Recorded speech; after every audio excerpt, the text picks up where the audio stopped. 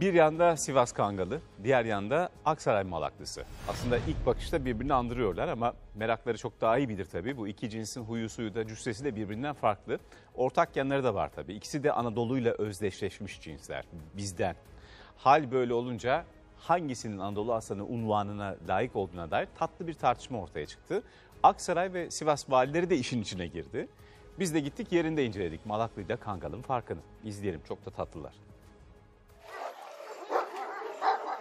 Aksaray Malaklısı daha uzun, daha ağır, daha zor, daha kemikli.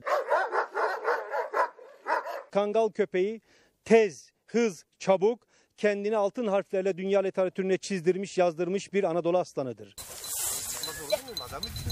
Sivas ve Aksaray. iki kentin valilerinin sosyal medya üzerinden başlattığı atışmanın ardından Kangal köpeğiyle Aksaray Malaklısı bir kez daha karşı karşıya geldi.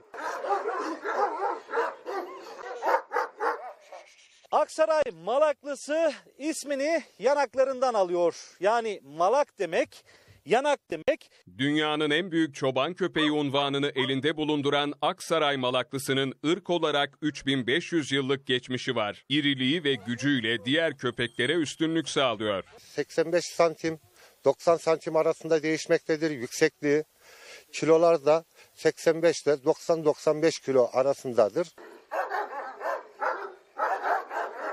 İbrahim sen bize Aksaray Malaklısı'nın özelliklerini anlattın. Ancak yanımda öyle bir ırk var ki ünü dünyaya artık yayılmış durumda. Dosta güven düşmana adeta korku salan bir Anadolu aslanı Sivas Kangalı. Çocuklara masumdur, yaşlara düşkündür, e, sahipkardır, uzmandır alanında. Sivas Kangalı neredeyse bir insan boyuna kadar yükselebiliyor. Öyle ki içgüdüsüyle dostu düşmanı rahatlıkla ayırt ediyor. Aksaray Malaklımızı bir basketçi olarak düşünün. Daha iri, e, daha e, boylu ama onun kadar hız sentezi olmayan, Kangal kadar aerodinamik yapısı olmayan, Kangal kadar çabuk olmayan, manevra kabiliyeti olmayan ve en iyi içgüdülere sahip olan Kangal ırkıdır ve bu konuda çok duyarlı bir yapıya sahiptir. Uzmanlara göre Kangal köpeği kurdun evcil hali ve çevikliğiyle diğer ırklardan bir adım öne çıkıyor.